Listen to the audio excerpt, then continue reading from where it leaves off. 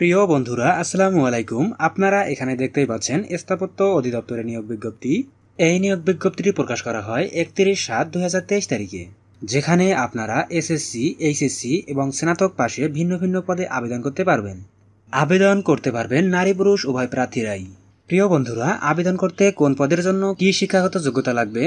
আবেদন শুরু কবে, শেষ কবে? আবেদন করতে কত টাকা লাগবে? এবং উক্ত পদগুলোতে কীভাবে আবেদন করবেন? এই সম্পূর্ণ প্রসেসটি একটি ভিডিওর মাধ্যমে দেখিয়ে দেওয়া হবে। তাই ধৈর্য সহকারে ভিডিওটি শেষ পর্যন্ত দেখতে থাকুন। আপনারা জানেন, আমাদের চাকরির খবর টোয়েন্টি ফোর একটি চাকরি বাকরি সংক্রান্ত চ্যানেল, যেখানে প্রতিদিনের নতুন নতুন সার্কুলারগুলো সবার আগে প্রকাশ করা হয়। তাই চাকরি বাকরি সংক্রান্ত যে কোনো খবর সবার আগে পেতে আমাদের চ্যানেলটি এখনই সাবস্ক্রাইব করে বেলাইকনটি বাজিয়ে রাখুন। প্রিয় বন্ধুরা, আপনারা এখানে সার্কুলারটি দেখতে পাচ্ছেন। গণপ্রজাতন্ত্রী বাংলাদেশ সরকার, স্থাপত্য অধিদপ্তর। আপনারা এখানে দেখতে পাচ্ছেন, এখানে সর্বমোট পাঁচটি ক্যাটাগরির পদ আছে। আমি সর্বশেষ পাঁচ নং ক্যাটাগরির পদটি থেকে আলোচনা শুরু করছি। পাঁচ নং পদটির নাম অভিসহায়ক শূন্য পদের সংখ্যা চব্বিশটি। বেতন দেওয়া হবে বিশতম গ্রেডে আট হাজার দুইশো পঞ্চাশ টাকা থেকে শুরু করে বিশ হাজার দশ টাকা পর্যন্ত। শিক্ষাগত যোগ্যতা ও অভিজ্ঞতা যা লাগবে কোনো স্বীকৃত বোর্ড হইতে মাধ্যমিক স্কুল সার্টিফিকেট বা সমমানের পরীক্ষায় উত্তীর্ণ হলেই হবে। অর্থাৎ আপনারা এখানে মাধ্যমিক পাশে আবেদন করতে পারবেন। এরপর চার নং পদটির নাম সহকারী মডেল মেকার। শূন্য পদের সংখ্যা তিনটি। বেতন দেওয়া হবে আঠারোতম গ্রেডে আট হাজার আটশো টাকা থেকে শুরু করে একুশ হাজার তিনশো দশ টাকা পর্যন্ত। শিক্ষাগত যোগ্যতা হিসেবে চাওয়া হয়েছে কোনো স্বীকৃত বোর্ড হতে মাধ্যমিক স্কুল সার্টিফিকেট বা সমানের পরীক্ষায় উত্তীর্ণ। এছাড়াও বলা হয়েছে দুই বছর মেয়াদি civil architecture, building drafting certificate সহ কম্পিউটার এইডেড ড্রাফটিং এবং মডেল তৈরির কাজে এক বছরের বাস্তব অভিজ্ঞতা থাকতে হবে। তিন নং পদটির নাম গাড়ি চালক, শূন্য পদের সংখ্যা একটি। শিক্ষাগত যোগ্যতা কোনো স্বীকৃত বোর্ড হতে জুনিয়র স্কুল সার্টিফিকেট বা সমানের পরীক্ষায় উত্তীর্ণ। এবং বিআরটিসি কৃত ইস্যুকৃত বৈধ লাইসেন্সধারী হতে হবে।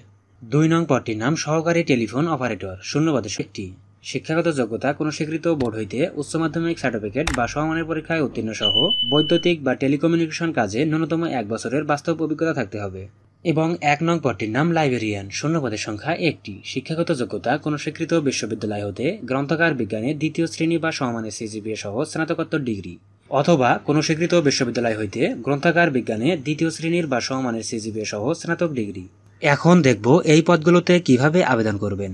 এই পদগুলোতে আবেদনের জন্য দশ আট দুই হাজার তেইশ তারিখে প্রার্থীর ন্যূনতম বয়স সর্বোচ্চ বয়স হতে হবে আঠারো থেকে তিরিশ বছরের মধ্যে। অর্থাৎ এই তারিখের মধ্যে আপনার বয়স তিরিশের মধ্যে থাকতে হবে।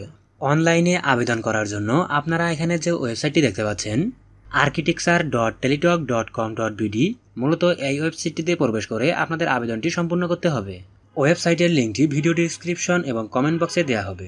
সেখান থেকে ক্লিক করে সরাসরি আবেদন করতে পারবেন। অনলাইনে আবেদন ফর্ম পূরণ এবং পরীক্ষার ফি জমাদানের শুরুর তারিখ দশ আট দু সকাল দশটা হতে আবেদন শুরু হবে এবং অনলাইনে আবেদন শেষ হবে একত্রিশ আট দু বিকাল চারটায়। অর্থাৎ আগস্ট মাসের দশ তারিখ থেকে একত্রিশ তারিখ পর্যন্ত পুরো মাস জুড়ে আবেদন করতে পারবেন।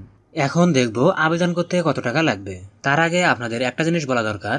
আপনারা এখানে দেখতে পাচ্ছেন যে সকল জেলার প্রার্থীদের আবেদন করার প্রয়োজন নেই। এখানে দেখতে পাচ্ছেন গাজীপুর, মানিকগঞ্জ, মুন্সীগঞ্জ, ফরিদপুর, গোপালগঞ্জ, মাদারীপুর, রাজবাড়ী, কিশোরগঞ্জ, ময়মনসিংহ, নেত্রকোনা, শেরপুর, বান্দরবন, ব্রাহ্মণবাড়িয়া, খাগড়াছড়ি, ফেনী, লক্ষ্মীপুর, রাঙ্গামাটি, রাজশাহী, সিরাজগঞ্জ, রংপুর, দিনাজপুর, কুড়িগ্রাম, ঠাকুরগাঁও, খুলনা, যশোর, সাতক্ষীরা, চুয়াডাঙ্গা, কুষ্টিয়া, মেহেরপুর, ঝালকাঠি এবং হবিগঞ্জ জেলার প্রার্থীদের আবেদন করার প্রয়োজন নেই। অর্থাৎ এখানে যে জেলাগুলোর নাম উল্লেখ করা আছে, সেই সমস্ত জেলার প্রার্থীরা এক থেকে তিন নং পদে আবেদন করতে পারবে না। এছাড়াও চার নং এবং পাঁচ নং পদে যে সকল জেলার প্রার্থীরা আবেদন করতে পারবে না। মাদারীপুর, জামালপুর, শেরপুর, ফেনী, লক্ষ্মীপুর, নাটোর, কুড়িগ্রাম কুড়িগ্রাম, পঞ্চগড়, খুলনা, মাগুরা, বাগেরহাট, কুষ্টিয়া, ঝালকাঠি, বরগুনা এবং পটুয়াখালী জেলার প্রার্থীদের আবেদন করার প্রয়োজন নেই। অর্থাৎ চার ও পাঁচ নং পদে এই সমস্ত জেলার প্রার্থীরা আবেদন করতে পারবে না। এছাড়া বাদবাকি সকল জেলার প্রার্থীরা আবেদন করতে পারবেন। এখানে দেখতে পাচ্ছেন এক নং পদের জন্য আবেদন ফি তিনশত চৌত্রিশ টাকা, দুই ও তিন নং পদের জন্য আবেদন ফি দুইশত তেইশ টাকা, চার ও পাঁচ নং পদের জন্য আবেদন ফি একশত বারো টাকা। প্রিয় বন্ধুরা যে কোনো সার্কুলার প্রকাশ হওয়া মাত্রই নোটিফিকেশন পেতে আমাদের চ্যানেলটি এখনই সাবস্ক্রাইব করে বেল আইকনটি বাজিয়ে রাখুন। ধন্যবাদ, আল্লাহ হাফেজ।